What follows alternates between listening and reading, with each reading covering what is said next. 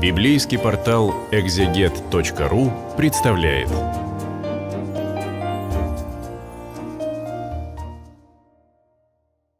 Сегодня на библейском портале «Экзегет» а, мы продолжаем чтение второй книги Паралипоменон. И сегодня будем читать девятую главу, а, в которой рассказывается о Соломоне и царице Савской, эфиопской царицей, э, которая пришла э, убедиться в мудрости э, Соломона.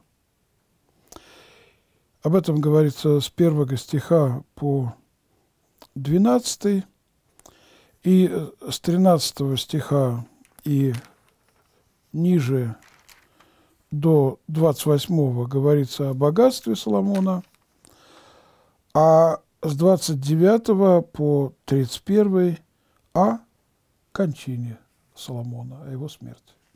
То есть каких бы вершин не достиг бы человек, рано или поздно он приходит к своей кончине. Итак, царица Савская. Она является образом э, языческого мира, который прильнул к божественному откровению апостольской проповеди. И царица Савская, которая пришла к древнему Соломону, она как бы э, пришла посмотреть и на храм, и приобщиться к божественной мудрости. Она как бы предваряет обращение язычников из многих народов через апостольскую проповедь э, к вере во Христа. И мы читаем первый стих – Царица Савская, услышав о славе Соломона, пришла испытать Соломона загадками в Иерусалим с весьма большим богатством и с верблюдами, навьюченными благовониями и множеством золота и драгоценных камней. И пришла к Соломону, беседовала с ним обо всем, что было на сердце у нее. Посмотрим, э, какие есть э, комментарии. И так она пришла как бы испытать его. Ефрем Сирин в своих гимнах о вере пишет, «Царица Савская была овцой, пришедшей в стан волков, и Соломон действительно дал ей светильник истины и взял ее в жены. Когда совершилось его падение, она просветилась и удалилась, но он пребывал во тьме, как им и было свойственно. О чем пишет Ефрем Серин? Скажем так, э, царица Савская пришла не в лучший период жизни Соломона к нему – когда волчья сущность идолопоклонства через жен Соломона завладела отчасти и самим Соломоном. Но она пришла послушать божественной мудрости. Сказано, прими пророка во имя пророка, получишь награду пророка. Прими праведника во имя праведника, получишь награду праведника. И то, что она хотела услышать, она все-таки услышала от Соломона – и то, что хотела получить от него, она получила. Что она получила? Она действительно стала женой Соломона. Она забеременела, вернулась назад в Эфиопию. И все эфиопские цари, э, они как раз всегда отмечали свое происхождение от дома Давидова через Соломона. Она приходит, как мы прочитали, с весьма большим богатством. И по этому поводу Беда Достопочтенный пишет, в книге «Царств» мы читаем, что царица Савская пришла с самого края земли услышать мудрость э, Соломона. Дело в том, что в обычае того народа было, чтобы им э, всегда правили женщины которых называли кандаками. А кандаками, ну, об этом писал, кстати, Плиний древнеримский историк Плиний. Это его естественная история. Отправка эфиопской царицей сокровищ народов в Иерусалим обозначает то, что церковь принесет Господу дары, добродетели и веры, то есть разных народов. Этимология соответствует ее имени, поскольку по-еврейски кандаки значит обмененная. То есть она что-то принесла, и она что-то получила. И беда достопочтенный оканчивает э, рассуждение словами «В Писаниях именно ей сказано «Слышь, черь, и смотри, и преклони ухо твое, и забудь народ твой и дом отца твоего». Это ссылка у беда достопочтенного на 44-й псалом, 11 стих и так далее, то есть и последующие стихи.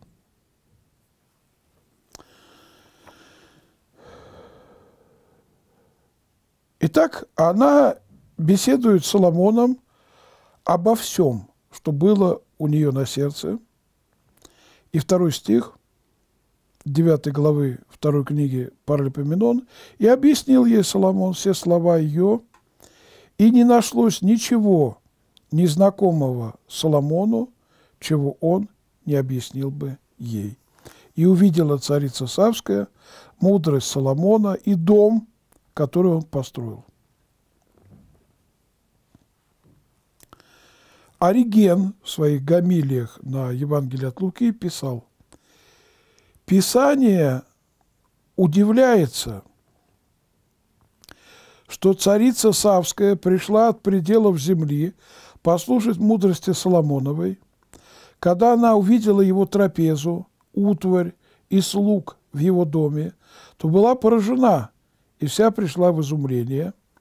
Если мы не принимаем с готовностью столь великие богатства нашего Господа, такие убранства слова и изобилие учений, если мы не едим хлеб жизни и не вкушаем плоти Иисуса и не пьем кровь, если э, презираем пиршество нашего Спасителя, то должны знать, что у Бога есть и благодать, и строгость, из которых мы должны более молить о благости к нам в Иисусе Христе, Господе нашим, которому слава и сила во веки веков. Аминь.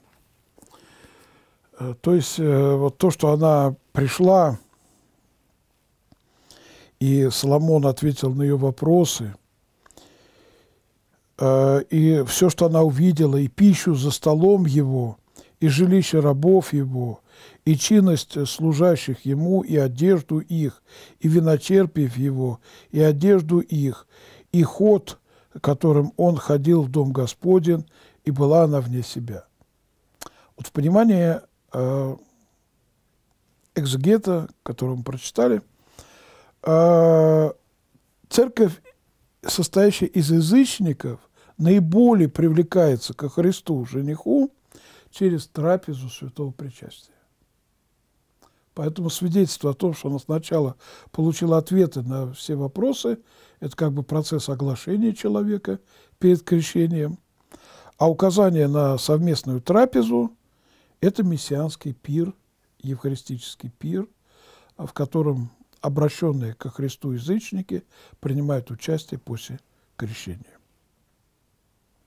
И она была вне себя от э, того, что увидела, то, того, что она ощутила. Как и обращенные в церковь, они бывают вне себя от того восторга, который завладевает ими, особенно тогда, когда они живут евхаристической жизнью. «И сказала царю, верно то, что я слышала в земле моей о делах твоих и о мудрости твоей, но я не верила словам о них, доколе не пришла и не увидела глазами своими. И вот мне и в половину не сказано о множестве мудрости твоей, ты превосходишь молву, как я слышала.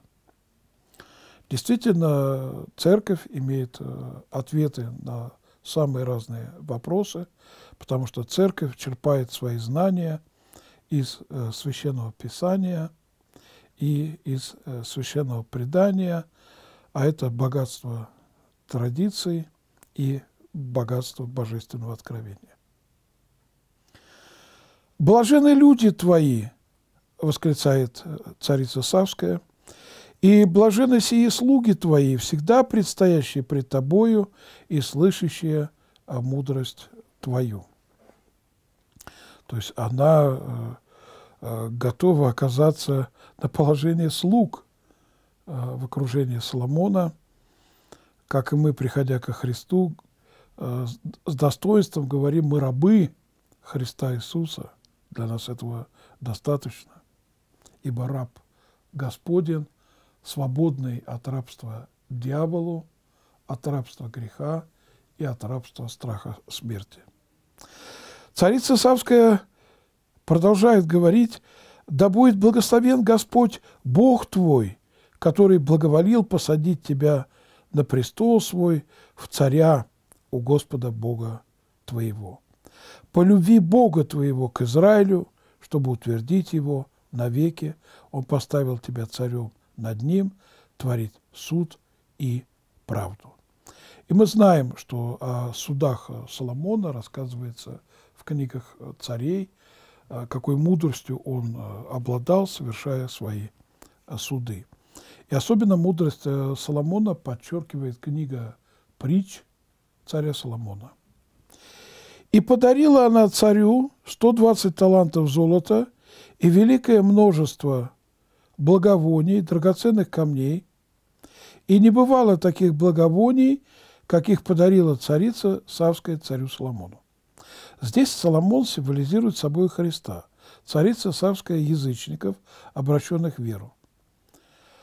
А какие же подарки Христу могут принести язычники, обращенные э, в веру? Благоухание своих добродетелей, потому что обращенные ко Христу начинают вести добродетельный образ жизни, а для Бога это благоприятно, как некий фимиам, воскуряемый пред лицом Его. И слуги э, Хирамовы, и слуги Соломоновы, которые привезли золото из Афира, э, привезли и красного дерева, и драгоценных камней, и сделал царь из этого красного дерева лестницы, к дому Господню и к дому царскому, и цитры, и псалтыри для певцов.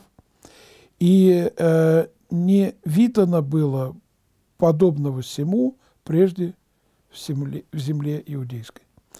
Царь же э, Соломон дал царице Савской все, что она желала. А чего она желала? Она желала ребенка иметь от него – и чего она просила? Просила мудрости. Получила и то, и другое. Кроме таких вещей, какие она привезла царю. То есть она желала того, чего у нее нет. И она отправилась обратно в землю свою. Она и слуги ее. Надо сказать, что есть предание, что ковчег Завета все-таки оказался потом э, в Эфиопии. Потому что как э, потомки Давида через Соломона, эфиопские цари имели право на этот ковчег. Дальше с 13 стиха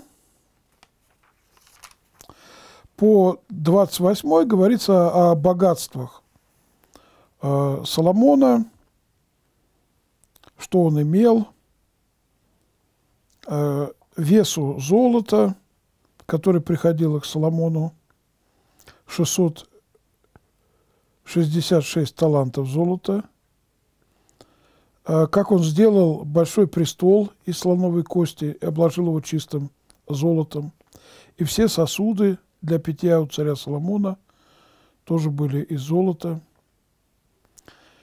И о том, как э, царь Соломон превзошел всех царей земли богатством и мудростью, и о том, как все цари земли искали видеть Соломона, чтобы послушать мудрости его, и о том, что было у Соломона 4 тысячи стоил для коней и колесниц и 12 тысяч всадников. Но даже имея все такие богатства, рано или поздно человек с ними расстается, когда отходит путь всей земли. Вторая книга Паралипоменон как бы стыдливо умалчивает о падении Соломона. Но об этом подробно рассказывается третьей книге царей, как жены Соломона, его языческие жены, развратили его, и он кадил чуждым богам. О самой смерти Соломона говорится с 29 стиха и ниже. Прочие деяния Соломоновы, первые и последние, описаны в записях Нафана пророка. Нафан пророк считается одним из авторов книг царей наряду с Самуилом, пророком. И в пророчестве Ахии, села Млянина, и в видениях прозорливца Иаиля о Иеравааме, сыне Наватова. Царствовал же Соломон в Иерусалиме над всем Израилем 40 лет. И почил Соломон с отцами своими, и похоронили его в городе Давида, отца его, и воцарился Рваам, сын его, вместо него. Ну, понятно, что сын воцаряется вместо него – но вот Раваам – это очень опасная фигура, потому что его э, как бы понимание жизни в конце концов разобщит еврейский народ. И они разделятся на два царства, на Иудею и Израиль, потому что Раваам отвергнет совет старцев и окружит себя молодыми людьми. И будет слушаться совета молодых.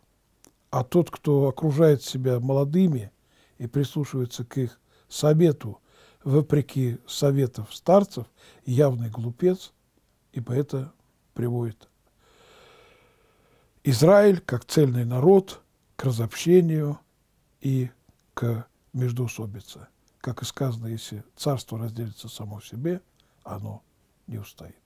Но об этом в следующий раз.